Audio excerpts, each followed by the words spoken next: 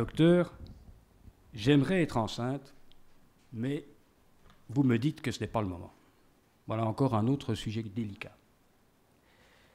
Alors, vous savez qu'il y a 30 ans, on disait qu'une femme du pic ne pouvait jamais être enceinte parce que c'était très mauvais. Aujourd'hui, c'est tout à fait faux. Si vous voyez un docteur qui vous dit ça, vous prenez vos clics et vos claques, vous payez la consultation, vous vous en allez.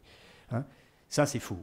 Mais il n'empêche qu'il y a chez certaines patientes des contre-indications à un moment bien déterminé d'être enceinte.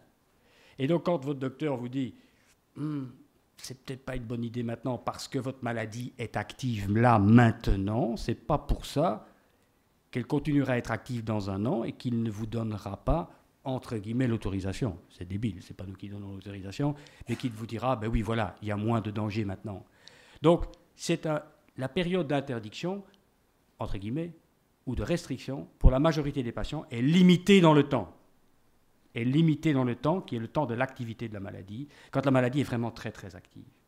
C'est exceptionnel, malheureusement ça existe, mais c'est exceptionnel que cette limitation ou ces restrictions ou ces mises en garde se prolongent ou soient définitives. C'est exceptionnel.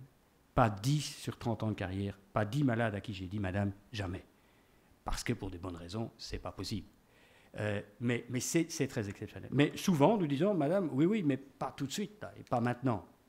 Si ça arrive, bien sûr, on n'est pas normatif, et bien sûr, on va euh, traiter cela, et la plupart du temps, ça se passe encore relativement bien.